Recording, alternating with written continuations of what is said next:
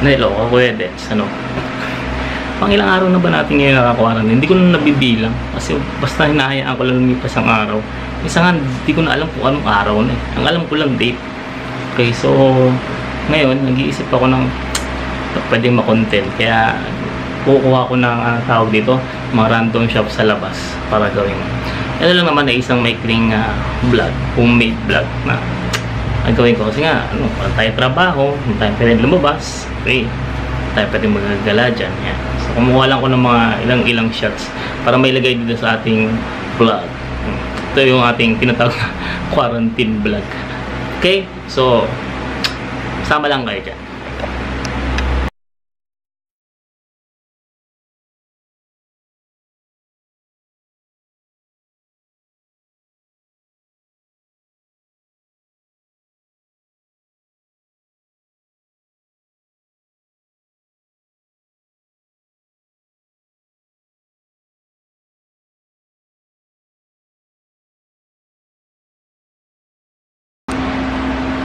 Ano ba yung common na ginagawa ko ngayon ngayong uh, anong tayong tinatawag na quarantine ano?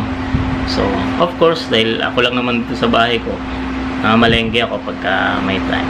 Ayan pagka kailangan bilhin ako sa palengke ako yung lumalabas.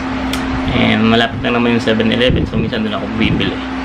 Tapos more on uh, nanonood ako ng mga videos from YouTube na may matututunan ako okay bawa mga paano mag-edit ng videos paano mag uh, iba't ibang mga tinatawag na uh, knowledgeable o knowledge TV minsan mga ano tawag to, mega disaster na nanonood ako niyan.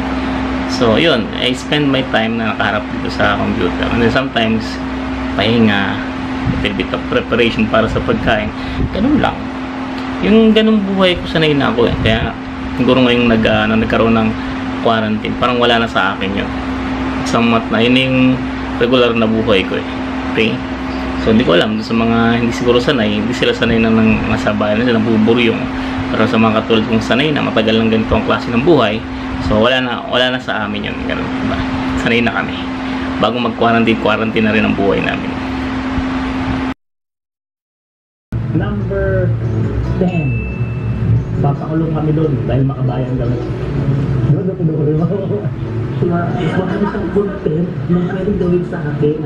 Hindi na nare-realize. Kami ang July 4. Sa April 4. Oo, ano kaya yan? Five lang.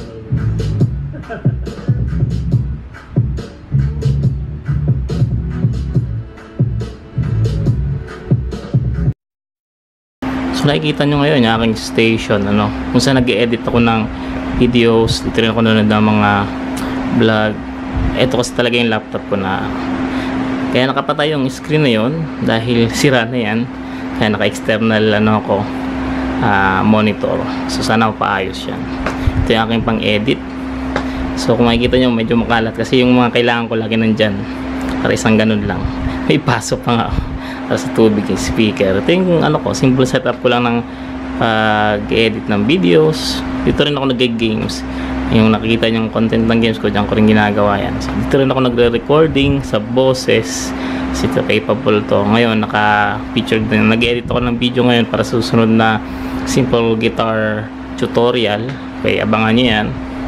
And then, all stuff meron akong isang laptop na ginagamit pa para sa mga paperwork naman sa aking trabaho so dito yung aking wala lang yung keyboard yung aking piano kasi hindi ko na nakuha sa eskwelahan bago mag lockdown so ito rin yung aking home studio. Okay? So yan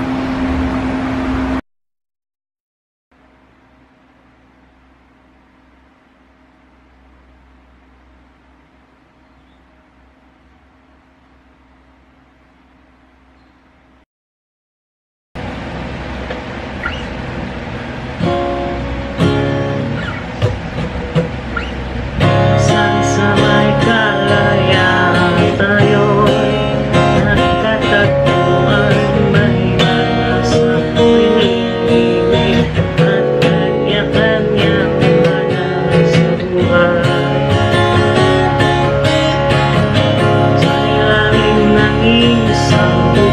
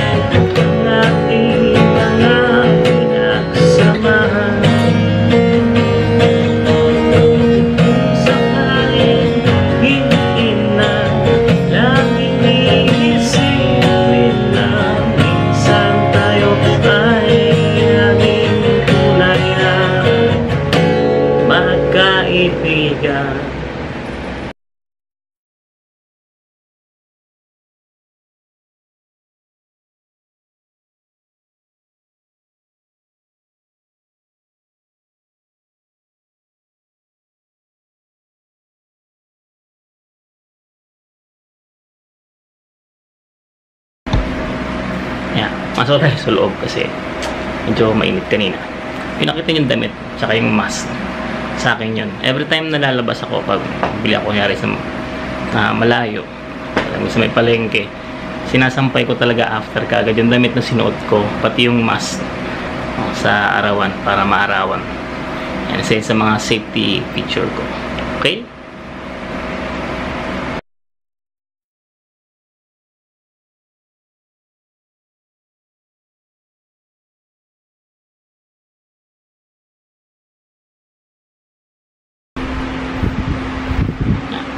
Sama ko si Teddy Bear. Siguro hanggang dito na lang mga guys, no? Ako maisip na imeligas ako sa content. Ano lang naman to? It's a daily content na kung saan ah, yun, dahil walang masyadong ginagawa ngayong quarantine, pero pwede naman tayong gumawa ng content na kahit paano. Say hi to my teddy bear. Ayan. Kuha sa exchange gift daw sa, ano, sa trabaho. Talagang ito yung hiniling ko. Okay? Hi. Yan. Pero ayos lang ako. Kasama ko to sa mga vlogs. okay, so this is Kuya Dens. Sana lang, gumagawa lang ng random video clips para sa aking ah, YouTube channel. Okay, kita-kits ulit tayo sa mga susunod na simple guitar tutorial. Abangan nyo yan, susunod-sunurin ko na siguro yan. Ah, yung iba-ibang mga OPM, unahin ko yung mga OPM para dun sa mga may hiling mag-jamming kasama ng kanilang mga kaibigan and of course ayan, para matugtog yun ng maayos kasi tandaan ninyo ayan, pag kahit magtumpok-tumpok kayo may mga nakikinig dyan tapos mga kritiko ayan, tapos lagi na silang mag-side comment kahit sa sarili ba naman yan ang pangit-pangit ng ano ng gitarahan nila pangit ng kanilang jamming diba? Ah, sisira mo pa yung araw nila ito talaga jamming nila tayo gawin na natin mas maayos para kahit pa makakahawa ng ah, yung tawag dito, yung happiness ng jamming sa ibang mga tao. Of course, gagawin yun. Um, huwag ngayon. Makapambay kayo dyan sa labas. Jamming-jamming, imuhulog kayo ng barangay at pulis dyan. Bawal nga yan. Stay at home. Ngayon, kung may gitara sa bahay, talaga mo nang mag-jam-jam sarili. Or digital jamming. Establish kayo ng ano, Zoom meeting. okay, so this is Dance with my teddy bear. Yan. Signing off. Ikaw na mag-sign off.